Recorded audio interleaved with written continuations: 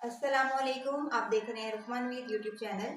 आज की वीडियो में मैं आपको मैंगो डिलाइट बनाना सिखाऊँगी। मैंगो डिलाइट बनाने के लिए हम यहाँ पे विपिंग क्रीम का इस्तेमाल करेंगे। अगर आपके पास विपिंग क्रीम अवेलेबल नहीं है तो आप कोई भी टेट्रापैक क्रीम भी यूज़ कर सकते हो। मैंगो को मैंने अच्छे से वॉश कर लिया सबसे पहले हम इसको पील करेंगे।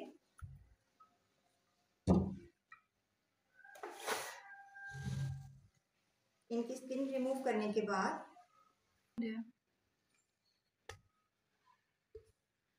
हम इस तरह मैंगो को रफली चॉप करने के बाद इसके अंदर ऐड कर लेंगे एक ब्लेंडर मशीन के अंदर। यहाँ पे मैंने तीन मैंगो को जो है वो रफली चॉप कर लिया है और इसमें मैं हाफ़ ग्लास वाटर ऐड करूँगी। अब हम मैंगो की प्यूरी रेडी करेंगे।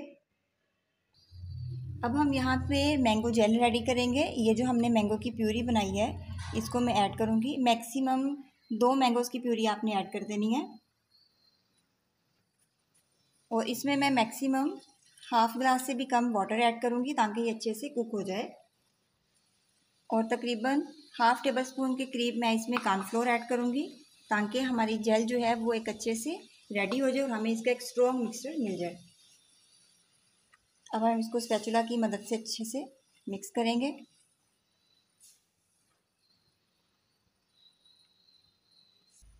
और एक टेबलस्पून के करीब मैं इसमें शुगर ऐड करूँ, कर दूँगी।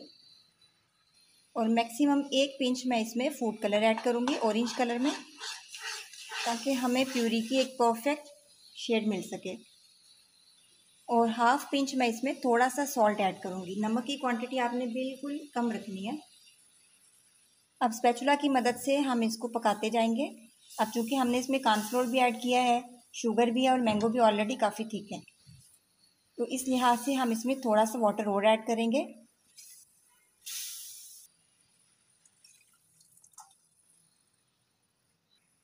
अब हमें इसको ज़्यादा देर कुक नहीं करना।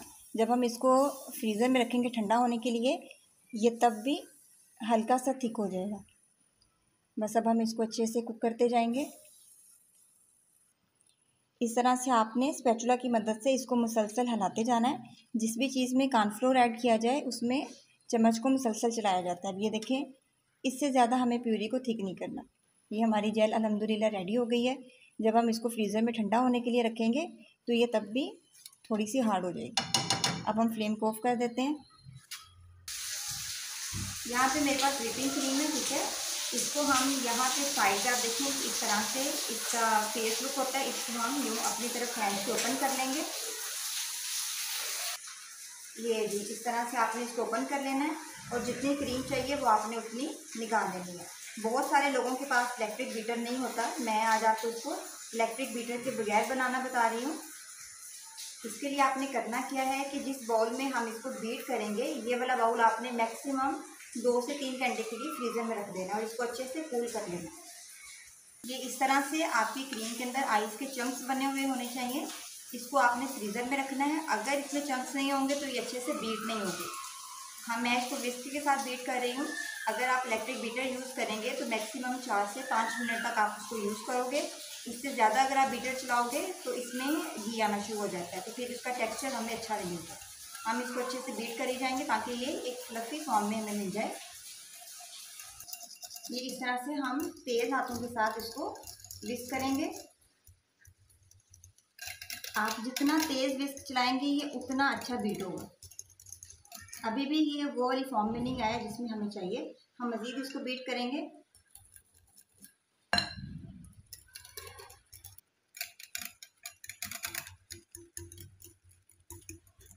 अलहमदिल्ला हमारी क्रीम अच्छे से बीट हो गई है। ये देखें कितना फ्लफी रिज़ल्ट हमें मिला है।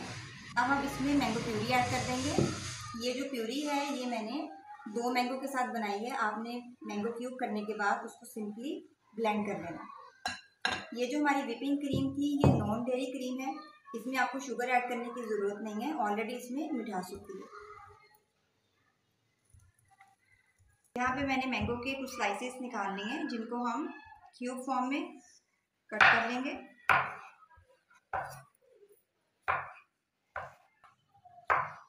अलहमदुल्ला इस तरह से हम सारे छोटे छोटे फाइन क्यूब्स रेडी कर लेंगे।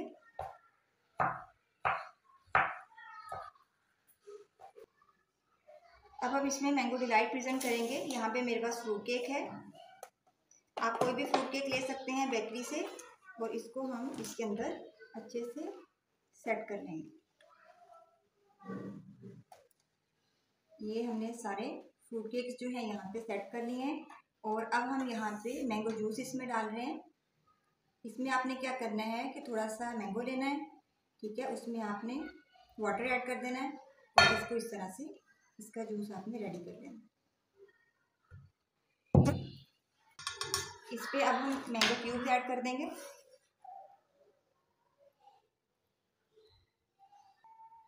काफ़ी ज़्यादा हम क्वांटिटी में मैंगो क्यूब्स ऐड करेंगे। अब हम ये क्रीम इसमें ऐड कर देंगे।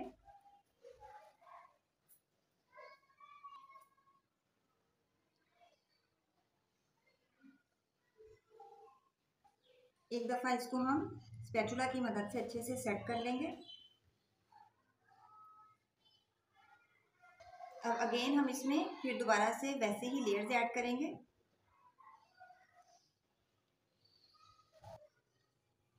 अब हम इस पर मैंगो क्यूब्स को स्प्रेड कर देंगे। और उसी तरह से हम इस पर मैंगो जूस ऐड कर देंगे।